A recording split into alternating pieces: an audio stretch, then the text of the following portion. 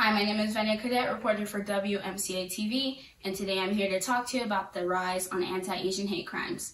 Later in the video, I'll be having three guests talking about their experiences as an Asian American in the U.S. Since the start of the COVID 19 pandemic, hate crimes targeted towards the AAPI, Asian American, and Pacific Islander community have significantly increased. The spike in racism targeted towards the AAPI community is a result of how the COVID 19 pandemic was initially covered. At the White House, you used the term kung term. flu. My question is, do kung you think that that's wrong, kung flu? And do you think using the term Chinese virus that puts Asian Americans at risk, that people no, might target not at them? All. No, not at all. I think they probably uh, would agree with it 100%. So, how has the increase on the anti Asian hate crimes affected you personally? The only thing that I can say, um, it doesn't matter where you're from or what. I think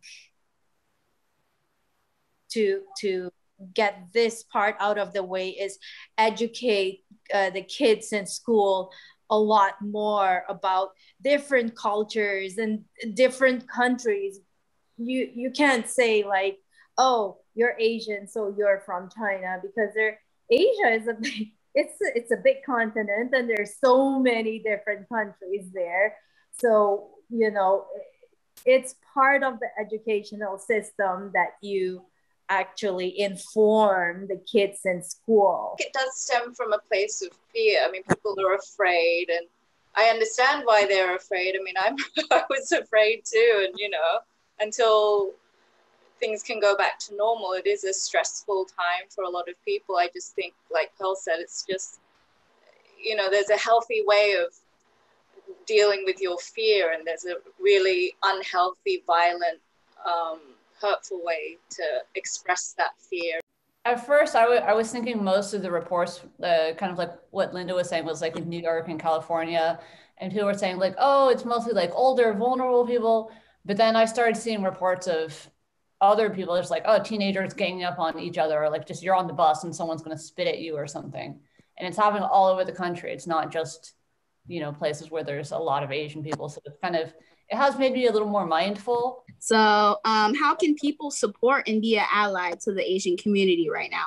I mean, I feel like a, a, a lot of my friends are already good at. I mean, you you just treat other Asian people like you would anybody else. I mean, like you would your own friends and family. I mean, just with respect. If you hear someone say something like, you know, call them out for it, even if it's, um, you know, uh, with good intention that they're just ignorant. They don't, they don't understand that what they said is offensive or wrong or bad or whatever. You know, just say, explain to them like, hey, that's not cool because X, Y, Z, and then you know, you can help educate people little by little ultimately everybody is a human. Everybody has feelings. It doesn't matter the color the age.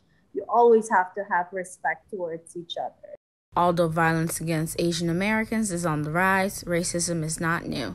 Hashtag stop asian hate marches have been planned throughout the united states and canada to spread awareness on anti-asian hate crimes and to show solidarity with the aapi community. This is venia cadet signing off